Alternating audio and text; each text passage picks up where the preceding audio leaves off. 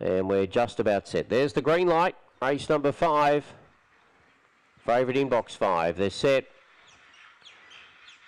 Racing, Parabellum got out okay. Moody Girl shows pace, and around the outside there goes Roxy Diva. Roxy Diva, the leader. Going up to second was Dr. Lynch. Then for the back in the field came McClendon. Well back there was Parabellum coming around the corner though. Roxy Diva, the leader by three, four lengths, and Roxy Diva all over winner by four lengths. Dr. Lynch has run second. Third goes McClendon. Then for the back was Aston Solar. Moody Girl well back with Parabellum Moon Sister and Majestic Mojo, and the time is quick 17.46 for Roxy Diva for Dale Chapman.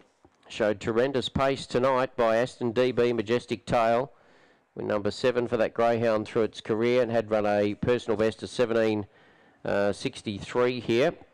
And eclipses that quite a bit with a great run 17.46. 6, 7, 8 and 4. 6, 7, 8 and 4 are the placings here. And Roxy Diva scoring a very fine win uh, for the quaddy first leg. If you've thrown it in, looks like around about the $8 mark or thereabouts. Uh, 790 officially, 790, 330 Roxy Diva. Dr.